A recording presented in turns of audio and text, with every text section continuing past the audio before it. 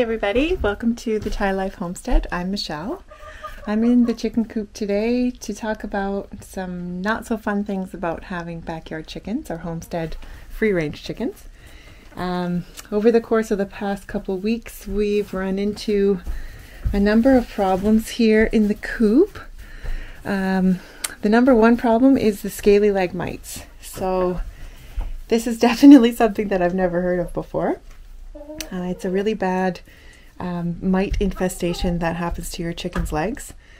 It's pretty easy to spot because um, their legs look absolutely horrible and crusty and painful with big sort of scabs all, all over them. Um, it is painful for the chickens as well. Another thing is that some of my hens were losing some feathers on their back, which I thought was from being oversexed when we had three roosters, but apparently that's not the case. Um, as it turns out, they have lice. um, so these two things that I've mentioned so far, just for the record, cannot be transferred to humans or dogs, so thank goodness.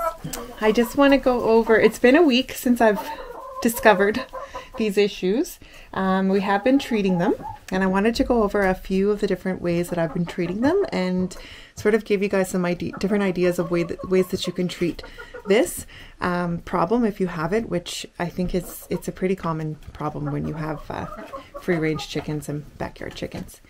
So with the scaly leg mites, the first thing that I did was I went to the vet. I drove to our nearest town and brought a picture of um, Poke, who's my rooster, he has the worst case for sure. Um, hi, Poke. So I went to the vet and showed them a picture, and they gave me some drops. It's a type of ivermectin that you apply to the backs of their necks. So I did that last Monday, and I really didn't see any improvement. Like even I thought, you know, at least three, two, three days you'd see some sort of improvement, which I did not. Um, the other thing that I read actually on YouTube was to apply copious amounts of Vaseline to their feet. It's Been three days since I put the drops on the back of their necks and I haven't seen a huge improvement on their feet. Uh, so I'm going to use the old farmer's trick, which is Vaseline. Did you know that Vaseline's actually called uh, healing jelly now instead of petroleum jelly? I just found that out today. Ooh, bombs. anyway, this Vaseline goes on their feet in a big coating, and what it's supposed to do is smother the mites which are living underneath all of this crustiness. Some people might think that it's gross that I'm not wearing gloves. The truth is that.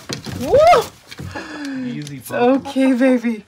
The truth is that I was going to, but I can't find them. So these don't transfer to humans. This is the one I was talking about. He's got the worst case for sure out of all of them.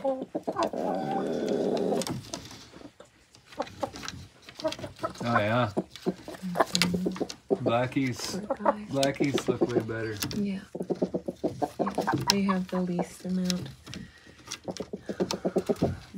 Hens do. But see, look at how it goes all the way up the back. Poor guy. I'm so sorry, buddy. Yeah. Okay. I think we got Pokey done. Oh, I'm to need a bigger bottle of Vaseline.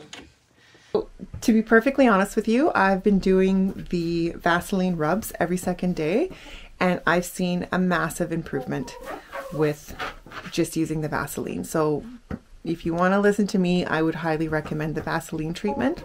When it came to the mites and the lice, um, I actually went out and bought a big bag of diatomaceous earth.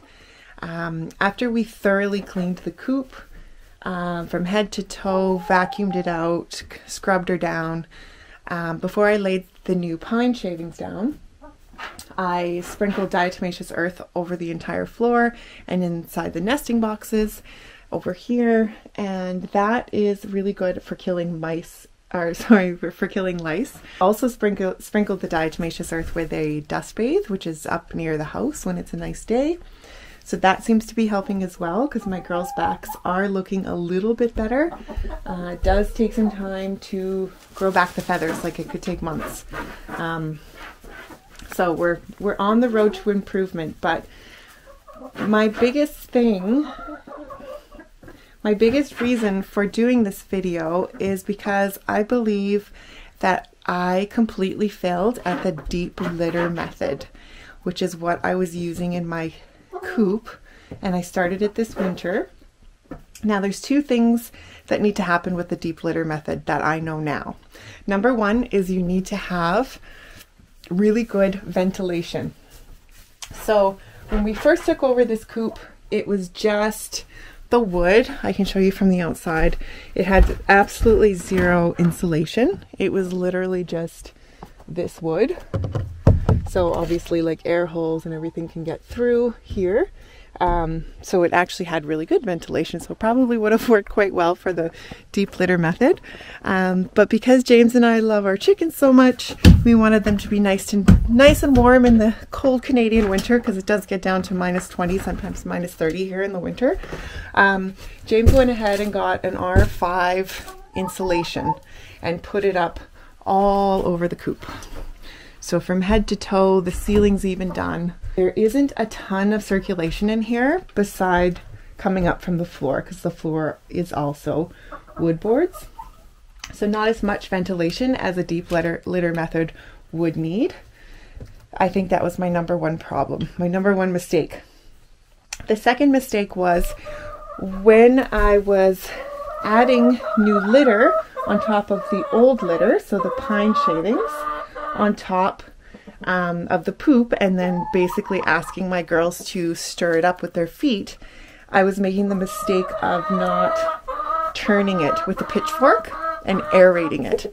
Aerating is a very, very important thing to do because otherwise it builds up an ammonia um, gas and it is really, really bad for the chickens and basically breeding grounds for all of the bad things the mice or the lice probably mice but the lice the mites um, potentially worms anything bad like that. So felt super bad about all of this. Um, being super honest here with you guys was not my most shining moment. Uh, my chickens are fine.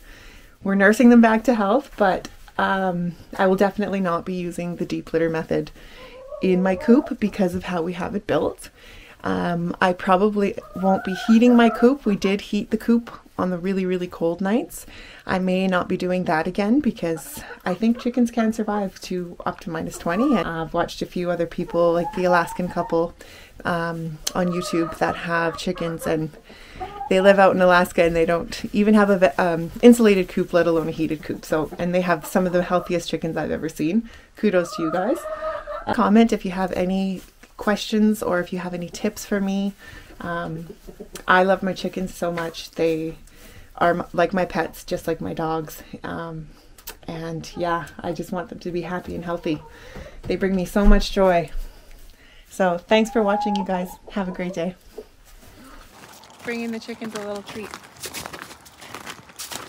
Some squash, squash seeds, chopped up garlic, strawberry tops. Good for deworming them naturally.